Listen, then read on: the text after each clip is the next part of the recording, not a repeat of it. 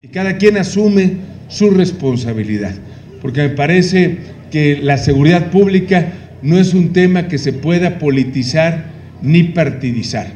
Aquí no se trata de buscar culpables, sino de buscar soluciones.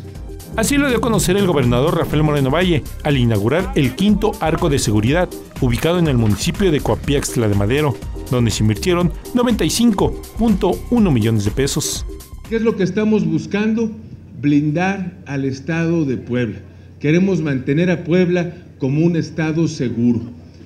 Y en este contexto es muy importante la coordinación de los tres órdenes de gobierno, la participación de los ayuntamientos, del total del recurso, 71 millones se destinaron a la construcción y 24 millones en mobiliario y equipo. Cuenta con salas de monitoreo y oficinas para registro público vehicular, 066, Finanzas, Fiscalía General, Sedena, PGR, Ministerio Público, Policía Ministerial, Separos, consultorios médicos, entre otros. Me parece muy importante que a través del trabajo coordinado de los tres órdenes de gobierno, hoy con resultados concretos, con obras y beneficios estemos recuperando la confianza de la gente.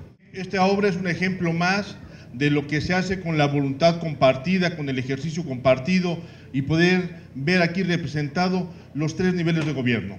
Pero sobre todo el poder ver una acción en donde el gobierno federal junto con el gobierno estatal unen fuerzas para batir la delincuencia. El alcalde Pablo Flores mencionó que nunca en la historia de Coapiaxtla se había recibido tanto recurso en obra pública por un gobernador. Incluso pasaron más de 40 años para que llegaran obras de esta magnitud. Sabiendo que la seguridad a todos nos preocupa y sobre todo que es para la ciudadanía y este proyecto que se está inaugurando el día de hoy por el señor gobernador Rafael Moreno Valle, que es de grande importancia para esta región, sabiendo que la central de Huiscolotla la tenemos acá y, es el pase de mucho de mucha de, la región.